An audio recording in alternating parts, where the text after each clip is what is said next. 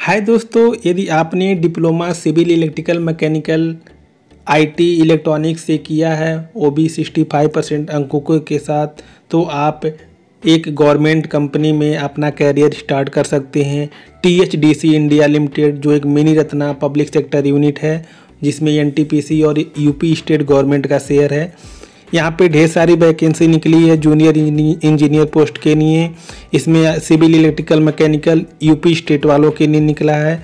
Uttarakhand state वालों के लिए civil electrical electronics IT and mechanical की निकली है।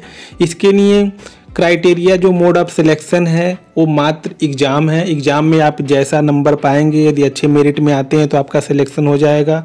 बाकी इसको थ्री ईयर डिप्लोमा वाले या two year lateral entry diploma वाले इसको अप्लाई कर सकते हैं। अप्लाई करने के लिए मात्र सिक्स हंड्रेड रुपये ही पे करने पड़ेंगी।